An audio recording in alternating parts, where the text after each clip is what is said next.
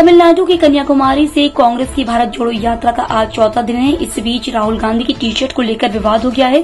BJP ने अपने official Twitter account से राहुल गांधी की तस्वीर को शेयर किया, जिसमें वो टी शर्ट पहने दिखाई दे रहे हैं।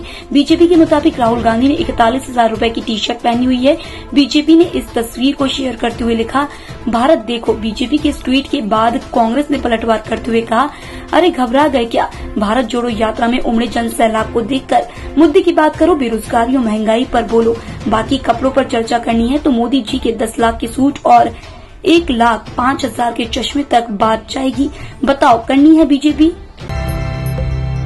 देश भर में गणेश विसर्जन के दौरान काफ़ी उत्साह दिखा। इस बीच गणपति की प्रतिमा विसर्जन के दौरान देश के कई हिस्सों में हादसे भी हुए। मीडिया रिपोर्ट्स के मुताबिक गणेश विसर्जन के दौरान हरियाणा और उत्तर प्रदेश में अलग अलग जगहों पर हुए हादसों में पंद्रह लोगों की जान चली गई है। वहीं डूबने के बाद कई लोगों का रेस्क्यू किया गया।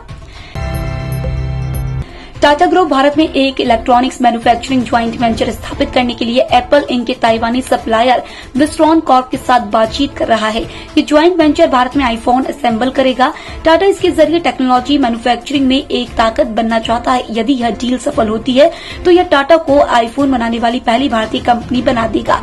अभी भारत और चीन में विस्ट्रॉन और फॉक्सफोन आईफोन असेंबल करती है। प्रधानमंत्री नरेंद्र मोदी ने वीडियो कॉन्फ्रेंसिंग के माध्यम से केंद्र राज्य विज्ञान सम्मेलन का उद्घाटन किया। दो दिवसीय कॉन्क्लेव का आयोजन साइंस सिटी अहमदाबाद में किया जा रहा है। इसमें एसटीआई विजन दो हज़ार सैंतालीस सहित विभिन्न विषयगत क्षेत्रों पर सत्र शामिल होंगे।